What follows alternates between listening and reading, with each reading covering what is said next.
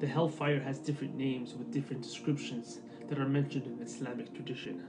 Amongst the names of the hellfire are Jahim because of its blazing fire, Jahannam because of the depth of its pit, Lada because of its blazing flames, Saqar because of the intensity of its heat, Hatama because it breaks and crushes anything to debris that is thrown into it, Hawiyah because whoever is thrown into it is thrown from the top to the deep bottom of its chasm or abyss. The dwellers of the hellfire will be made huge, so every part of their body can feel the punishment.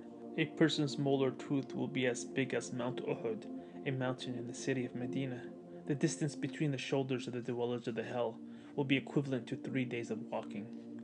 The fire that exists and burns in this world we live in today is one seventieth of the severity and intensity of the hellfire in the hereafter.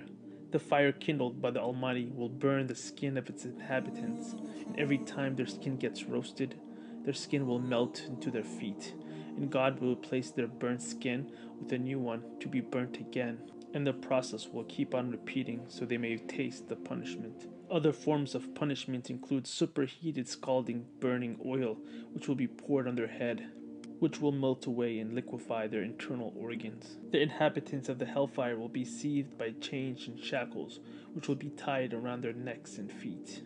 Indeed, we have prepared for the disbelievers chains and shackles and blaze.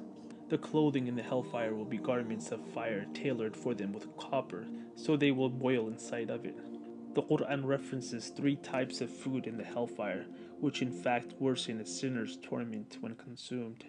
The food and drink of the hellfire do not provide nourishment, nor does it relieve hunger nor thirst. The dwellers of the hellfire will experience intense thirst, only to have hot boiling water given to them. Water so hot and intense, if a drop of it touches a mountain of this world today, it would turn it into dust.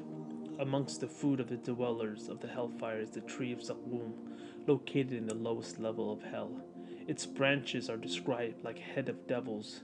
Its vicious fruits severely burn the inside of a sinner's stomach. If a drop of its juice lands on earth, it would poison the whole earth and everything it contains.